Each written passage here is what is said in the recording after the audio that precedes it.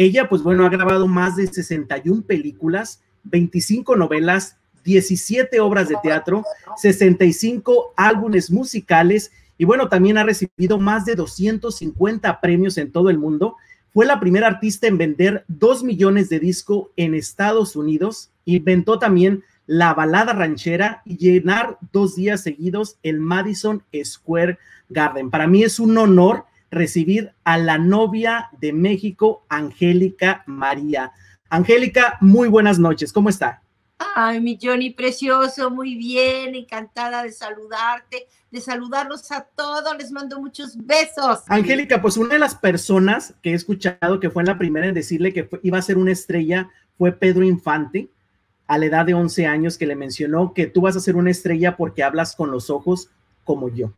Y creo que tenía 10 años cuando, cuando me lo dijo y, y es 10, 11 años por ahí, creo que 10. Pero este, me dijo, ¿sabes qué? tú vas a hacer con los ojos como yo. Ándale, que me lo haya dicho Pedro Infante, qué padre, ¿no? Es un honor. ¿De dónde surge el nombre de la novia de México? Mira, hubo un periodista muy importante español, don Octavio de Alba.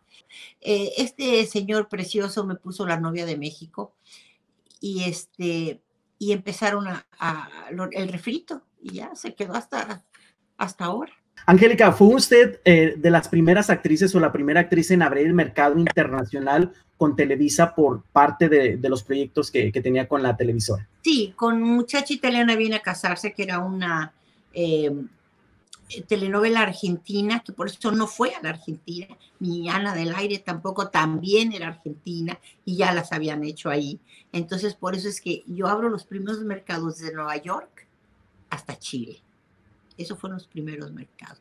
Pero fue una, fue grande el, este, los países fueron muchos, ¿no? Y, y, fue de verdad algo importantísimo. Y después, y después recuerdo que con Corazón Salvaje fuimos a Italia. Lo que pasa es que en Italia todavía no había cadena nacional, no había cadena nacional. Entonces iba, fue a, un, a una ciudad y después fue a otra y después la pasaron otra vez en la otra en la misma ciudad. Entonces fue así muy poquito y entonces ya entraron las, las otras telenovelas ya en cadena nacional, pero las mías no. Ok. Pero, pero pues yo fui la primera en, en abrir eso también, afortunadamente. Actualmente varios artistas están empezando a grabar duetos musicales con artistas de antaño. me, da mucha flojera, me da mucha flojera grabar. Pero bueno, por ahí hay un dueto interesante que va a volver a salir. Algo muy bonito. ¿Con quién? Pues ya te diré. Ahorita no lo puedo decir todavía. Pero ¿Un artista de moda? Ya existía, lo que pasa es que se vuelve a hacer con otro arreglo y este y muy bonito. Es alguien que, que adoramos comentarios que nos están haciendo la gente. Mira, hay un comentario, no sé si dice Chuchita Pérez, dice, sé que eres invitada especial en los duetos de, de Joan Sebastián. Ay, cochina, sinvergüenza, sí. Así es, Conchita hermosa. ¿Ves? Qué enteradas, qué bárbaros. Sí, mi amor, voy a estar ahí seguramente. Una de las, de las telenovelas que recuerdo, si mal no estoy, que usted había rechazado fue la de Mirada de Mujer. Iba a ser la protagonista. Sí. Fíjate que la rechacé porque yo tenía la, camiseta de Televisa muy bien puesta y no quise ser infiel a Televisa. Y ellos ni, te pelan, son infieles contigo, les vales pero yo sentí que no debía hacerlo y, no la hice. Fíjate qué tonta, qué tonta. Hubiera sido maravilloso, qué papel. Claro, mi tocaya Angélica Aragón lo hizo divino, ¿no? Pero pues era para mí. Y, yo creo que le caí muy gorda al productor, al escritor, porque pues nunca, nunca me llamó, nunca más me llamó para nada. Y bueno, una bioserie. ¿Podríamos ver una bioserie suya?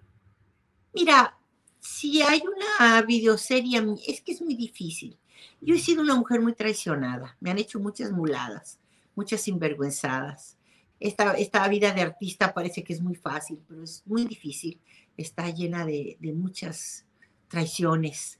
De, ah, yo nunca fui de escándalos, nunca dije nada en contra de nadie. Eh, las cosas malas que me sucedieron, pues me las callé y seguí adelante tratando de buscar otros caminos y bendito sea Dios se me abrían. Eh, me fue muy bien en mi carrera, pero por luchona, porque eh, cuando tú ya logras un, lugar, todo el mundo te quiere acabar, pero cuesta mucho trabajo, hay muchas, muchas traiciones y este, tendría yo que contarlas. Y las traiciones, fíjate que fueron de gente muy querida. Wow. Entonces no podría yo hablar mal de la gente. Gente famosa, muy famosa. que ama nuestro pueblo y no puedo, no puedo hablar mal de esa. Tendría yo que cambiar los hechos para que no suene a traición, sino que suene a equivocación o a no sé qué, ¿no? No sé, habría que... Y yo quisiera hacer una, si hago una serie de mi vida, pues que fuera la verdad, pero en este pues caso, las traiciones voy a tener que, si, si hiciera, pues tal vez disfrazarlas. Eh, fueron por otra causa, no fue traición, pero me traicionaron mucho.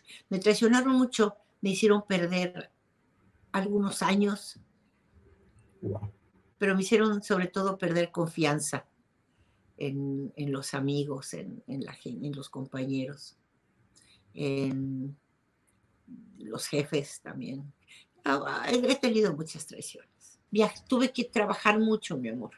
Este, estuve en el mejor momento de mi carrera, entonces se quedaban con mi mami, se quedaba mi hija con mi mami, y, ah, pero en algunas cosas, porque ah, hasta, ¿no te dijo lo de la maleta, Angélica? No, no me platico. Bueno, pues fíjate que cuando, cuando hice, por ejemplo, Papacito Piernas Largas, Angélica, que tenía dos años y medio, eh, mi mamá le mandó a hacer una cama, pero para que eh, no le pasara nada de esa cama, entonces le hicieron una maleta de esas antiguas, grandes, oh. la mandó a colchonar, la hizo preciosa la camita, entonces cerraba, ahí iba su ropita, se abría, se sacaba la ropita, se colgaba y la niña dormía en la maletota, una maleta inmensa, claro, de esas como baúles de antes, de esas como baúles. Y este, y la niña feliz en su, en su cama, le encantaba la cama y este, pero pues así me la llevaba a todos lados. Nos las llevábamos, mi mamá y yo, cuando hacíamos las cosas juntas, las, mi mamá y yo, cuando mi mamá producía y todo eso que me, que me acompaña, que nos acompañaba, que íbamos juntas, pues entonces nos llevamos a la niña. Cuando no, que era, era, era ir a, cantar dos días fuera, pues me iba yo dos días fuera, este, y, y, y no llevaba a la niña, ¿no? Se quedaba con mi mami. Mi mami fue pues su segunda madre. Fue maravillosa. Ya ves que en México nuestras mamás siempre nos salvan y creo que este, yo estoy salvando a mi hija a veces también bastante. Una, una de, las, de las cosas, o anécdotas que, que, tuve la oportunidad de escuchar es de que su madre, Angélica Ortiz, fue de las que descubrió a Mauricio Garcés. Sí, sí.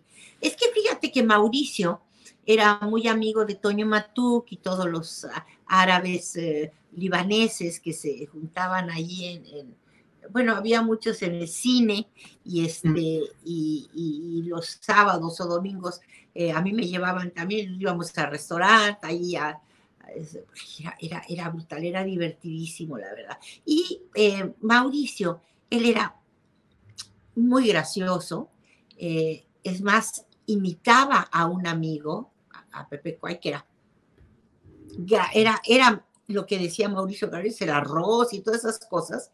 Eh, eh, Mauricio se puso a imitarlo a él delante de mi mamá y mi mamá le dijo, oye, yo te voy a hacer tu película. Sí, porque el otro no era actor, pero Mauricio sí, además era guapísimo. Entonces yo te voy a hacer una película. Y le hizo Don Juan 67. Y de ahí salieron todas las demás películas que eran copia de Don Juan 67, ¿verdad? Todas eran parecidas. Pero este, pero sí mi mami le hizo Don Juan 67 a, a Mauricio Garcés. Que habían tenido ambas la oportunidad de participar en esta película de Coco. Ella fue la, la mamá de Coco y en este caso interpretó a la hija de Coco. mamá Imelda y yo la abuela. sí. Fue muy ¿Qué experiencia le, dejó haber participado en esta, en esta película? Ay, no, pues padrísimo, porque el que se quede en nuestras voces para los niños futuros, para imagínate, la de veces que se va a ver Coco, ¿no? ¿Cuántos años va a durar Coco? Toda la vida, como la Cenicienta, Blancanieves, ¿no? Que han sido parte de nuestras vidas, pues ahora va a ser parte de las vidas de muchos niños y que con nuestras voces es un, es un orgullo muy grande. Sí. Bueno, hicimos una dinámica eh, eh, invitando a, sus fanáticos a que nos enviaran preguntas y el día de hoy vamos a invitar a un fanático que ya lo tenemos en la línea, va a entrar junto con nosotros porque le quería hacer una pregunta. Así que ella es Caroline, es desde Brasil y quería hacerle una pregunta. A ver, ¿qué pregunta me vas a hacer, corazón? Corazón. Olá! Muito bonita, muito bonita. Obrigada. ¿Qué pregunta me vas a hacer, mi niña? Eh, buenas noches. Buenas noches. Tus fanáticos brasileiros le amam muito. Ay, yo, yo los amo más, mi vida, yo los amo más. Gracias. Gracias por querer a mi hija como la quieren y por quererme a mí. Gracias de verdad. Nós, eh, nós que agradecemos por tanto carinho, talento, atenção conosco, fãs brasileiros. Es la oportunidad de poderla, de poderla entrevistar. Muchísimas, muchísimas gracias.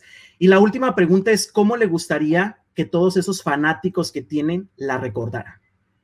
¿Cómo le gustaría ser recordada la novia de Solamente como una mujer que quiso divertirlos, quiso divertirlos y, sacarlos de sus problemas un ratito y, hacerlos eh, sentir felices. Eh, tú sabes, el olvidar los problemas un, rato es maravilloso y ojalá lo haya yo logrado alguna vez, ojalá. Eh, este, esta carrera esta, la necesidad de darse, esto de ser artista, así es, tienes que dar, tienes una necesidad enorme de dar tus sentimientos, eh, esos que traes aquí guardados y los tienes que sacar con una canción o actuando o de alguna forma. Por eso quiero que me recuerden así, como una mujer que les dio todo su amor y que trató de divertirlos y hacerlos felices. Pues muchísimas gracias y el mejor de los éxitos. Un abrazo. Gracias, mi vida, igualmente. Mucho gracias.